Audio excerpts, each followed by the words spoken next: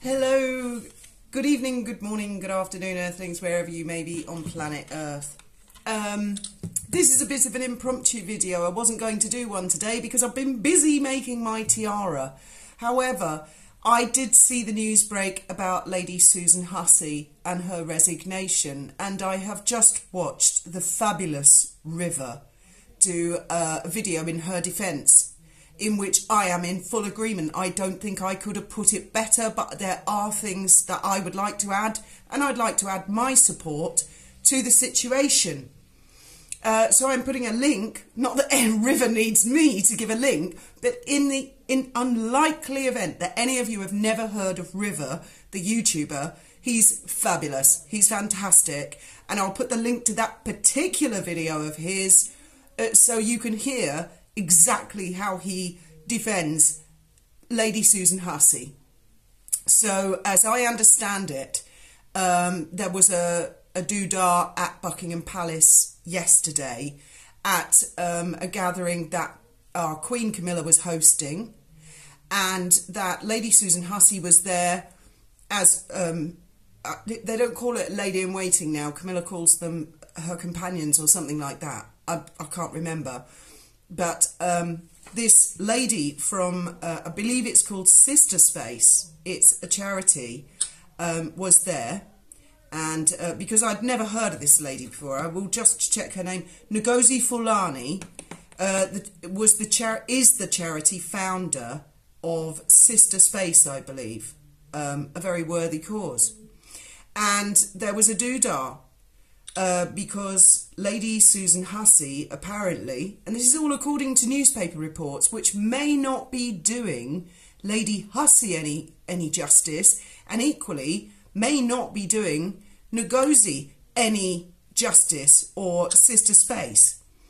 Um, so uh, th- th- this may all be misquotes, uh, or it may be accurate. But I have seen the tweets um, where Ngozi Fulani says that she felt violated, that it was a racial attack. Um, that is the essence of uh, the tweets, and that she has posted a sort of a verbatim conversation where Lady Hussey was asking her where she came from. Now, uh, I don't want to comment on the ins and outs of what has or has not happened. What I would like to comment on is that I am super shocked at the neck break speed with which this situation has escalated. Uh, this is something that apparently happened yesterday, unless I'm completely wrong and I've misunderstood, which is possible. I have mentioned once or twice before I do get things wrong, but as I understand it, it was something that happened yesterday and Lady Hussey's resigned today. In the interim, there was a tweet. To me, to me, who was once on the receiving end of a witch hunt and as a result chased around Europe for three years with two small children and living in a caravan, I am not a fan of kangaroo courts, knee jerk reactions, or witch hunts. They are very, very wrong. Whatever happened to, uh, don't need a big inquiry, don't need a big investigation. Whatever happened to, let's uh, uh, write to the lady, let's get the exact details, let's write to the other people that were there, uh, let's find out exactly what happened. Oh no, apparently not, apparently not. Justice now happens on Twitter. Tweet, tweet, tweet, tweet, tweet, tweet, tweet. Resignation, career over. River said that, and I have no reason to doubt him, Lady Hussey uh, has worked for the monarchy for 62 years. Gone. In the blink of an eye. I also read in a, a, newspaper, so I mean, I always take it with a pinch of salt in newspapers, and again, they may not be doing either lady any justice. There was a claim in there that the lady who said she felt violated, violated was the word, because uh, Lady Hussey or somebody had moved her hair to see her, her name badge. Here. She felt violated. Okay, that's a strong word. Um, the newspaper may not be doing either lady any justice, and both ladies may say this is all a, a load of nonsense that's been drummed up by the media. So that's a possibility. But to, to have these events happen so quickly, and I do believe Lady Hussey has resigned, and then Buckingham Palace apparently have released some statement saying, oh, yes, dreadful, dreadful, oh, won't accept that. Of course, they're not going to accept racism. Racism is unacceptable. It's not only unacceptable in my mind, it is an inexplicable. Uh, I, I just, it's an illogical condition. and I, I, I would like to hear Uh, if I had worked at the palace, I would want to hear more details than tweet, tweet, tweet, tweet, tweet. Decision, kangaroo court, fetch the guillotine, bring a rope. We can't live in a society, we can't accept this. Perhaps Lady Hussey was in the wrong. Perhaps the correct action has happened. But at that speed, in that time frame? Is that correct? If, if someone was to knock my door uh, tomorrow morning and say, someone tweeted, you're a murderer, so you're going prison right now. Okay, yeah, fair enough, fair enough. Now, uh, also the newspapers, as I was saying, may not be doing the situation any justice. I don't know, they may be inflaming it, they may be uh, making it more than it is.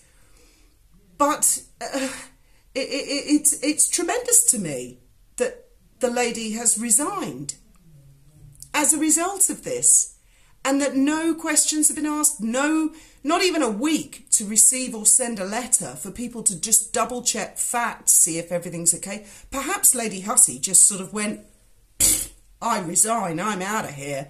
Maybe that's how she felt. Maybe she was fed up. I don't know.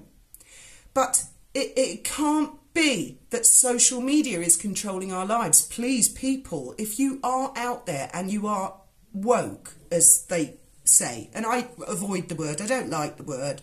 I think it's been used in a derogatory fashion for people who care, people who care about inequality, injustice, racism, or all of the things that we should be looking at. I don't like to use the word woke, but it's a become a general term.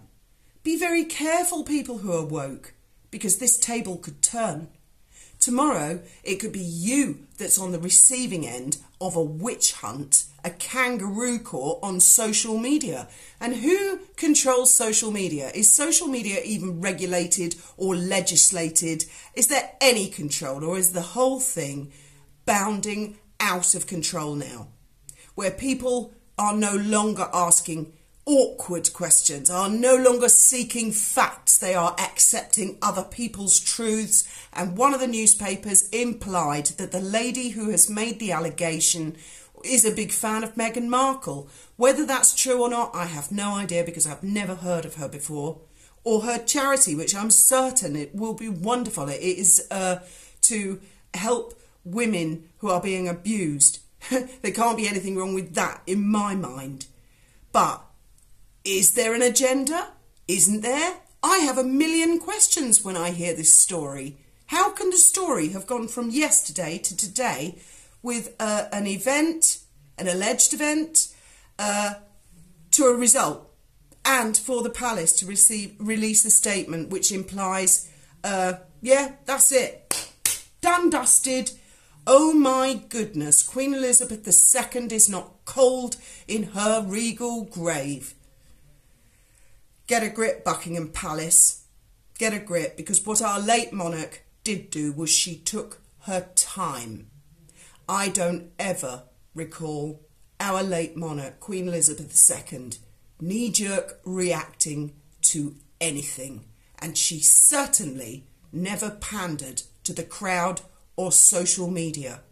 This is a dangerous path a proper investigation, and I don't mean a million dollar inquiry, a proper looking into the facts, talking to all of the people, checking if anybody might have had some sort of an agenda. It does seem rather impeccably timed for our Prince and Princess of Wales who've just landed in Boston and a certain person who has alleged racist palace.